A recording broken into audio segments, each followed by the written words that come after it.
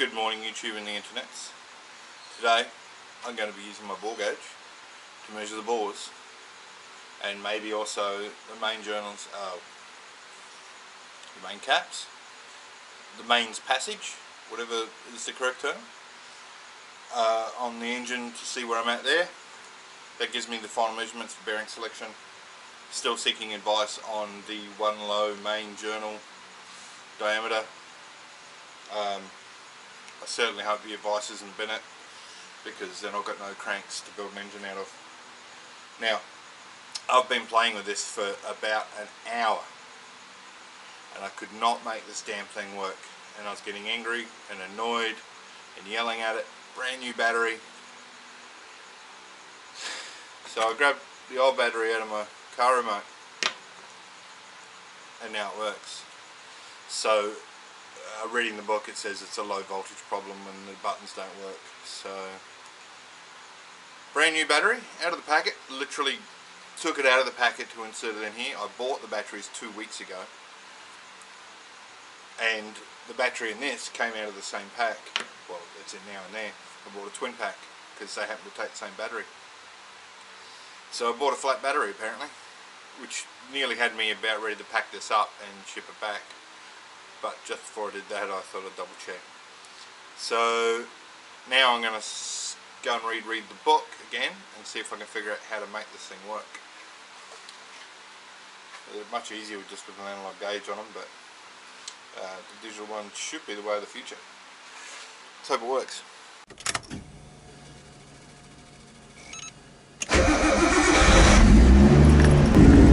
Okay, so what I've got here is my micrometer set up in the vise very gently, wrapped in rags to protect it. Set at 86 millimeters or 3 point something inches, I can't remember. Um, but I set it off the number on the screen.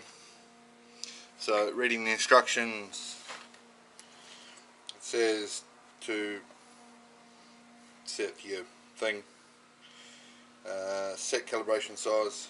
Okay, that's done. Short press 0 to turn on display, it's on. Short press M. Min blinks. I don't see anything blinking. Insert the bore gauge into setting ring. In this case, micrometer uh, sway the bore gauge wiggly, the bore gauge will find the minimum reading.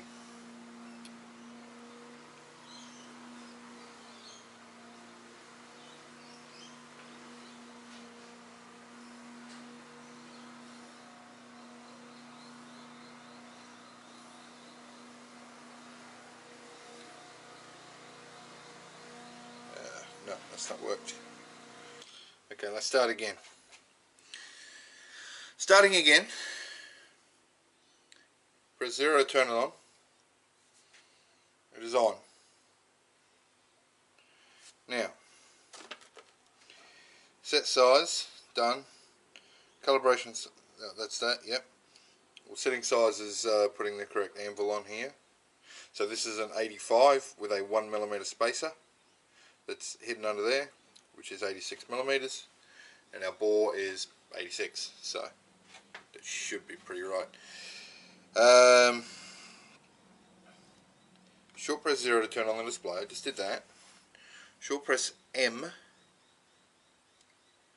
min blinks. Oh, yep, okay, so mm, down the bottom left, min is blinking on the screen, M-I-N. Uh, bore gauge enters a minimum reading tracking mode. Insert the, insert the bore gauge into the setting ring and sway bore gauge wiggly. Uh, this one's got to go first.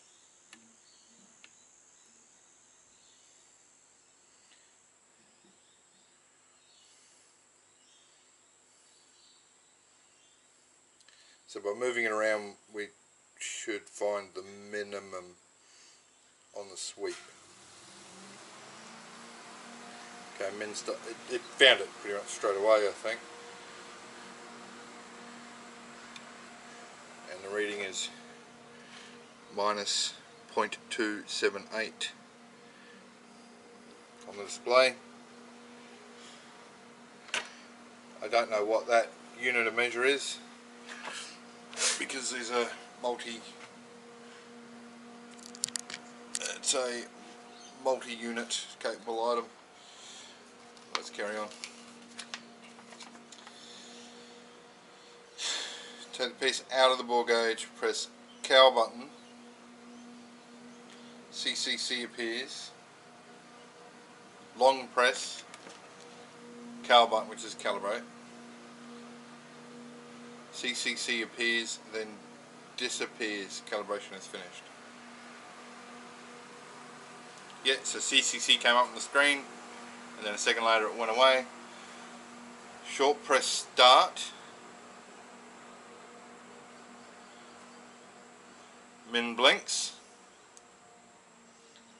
uh, and bore gauge enter into measuring mode insert the bore gauge into the workpiece and sway the bore gauge wiggly.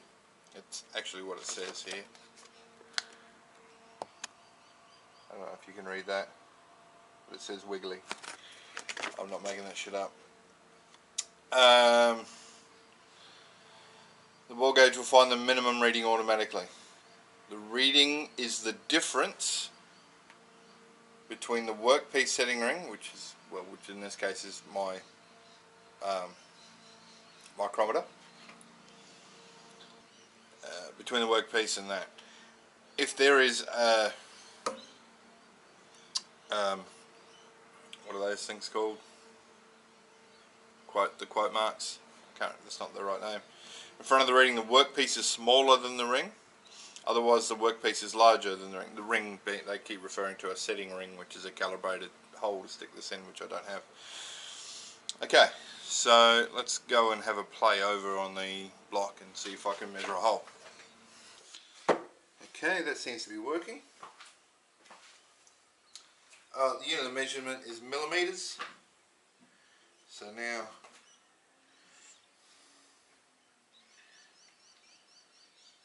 put this in start measuring. So we sway this, make sure it's nice and square, and it has automatically measured the sweep. And so there's no there's no asterisk in front of uh, asterisk the quote marks in front of the number. It is 0.076 millimeters smaller than 86 doesn't seem right, does it? so, um, but that's just a test to get the functionality of the tool. What I'll have to do is triple check that I had the measurement right over there on the um,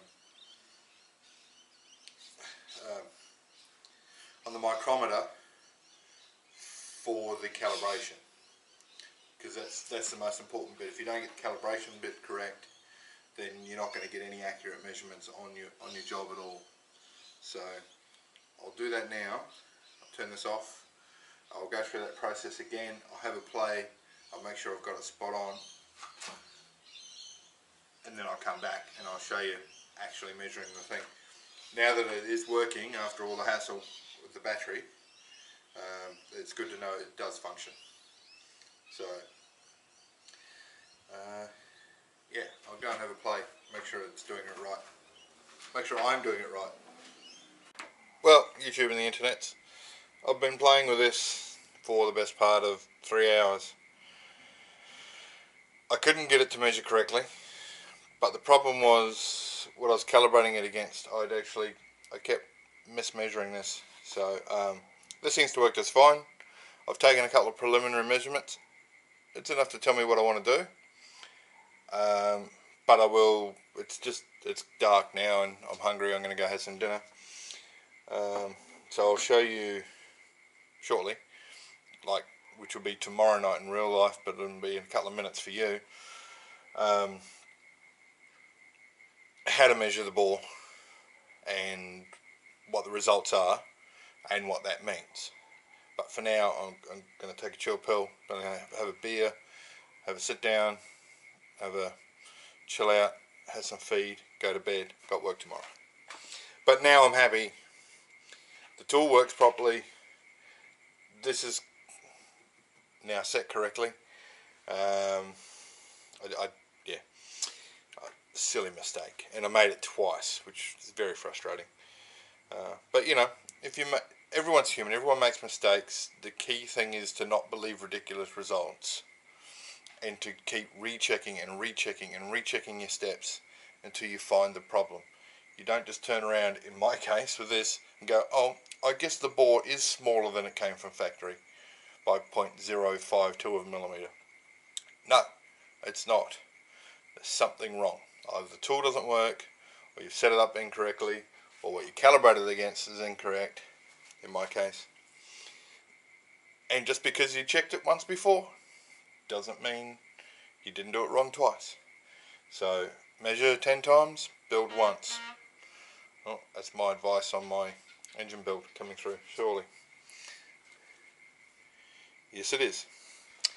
Alright, so armed with the information, I'm one step closer to making something happen. I don't need to take those measurements that I'm going to show you to make the decision I need to make. I've taken enough measurements to make that decision. All I need to do now is get a second opinion on the crank.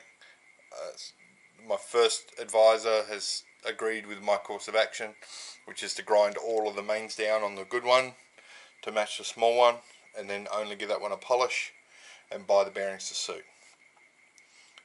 which makes perfect sense to me. To do that, I do have to, using the bore gauge on that motor, double check the um, the main recess, whatever the hell it's called. I, I, I can't remember the right name for it. What do they call it in the book? crankshaft journal diameter standard. It doesn't tell me a lot, does it? Anyway, happy days. We've got some progress. That's um, yeah, it's it's it's good news. It's good data. I can move forward with what I've got, and tomorrow night I'll record doing that, and, and that'll all make this video. Think it won't be too long, and um, yeah, we'll we'll get some get some more progress happening. Let's get this car built.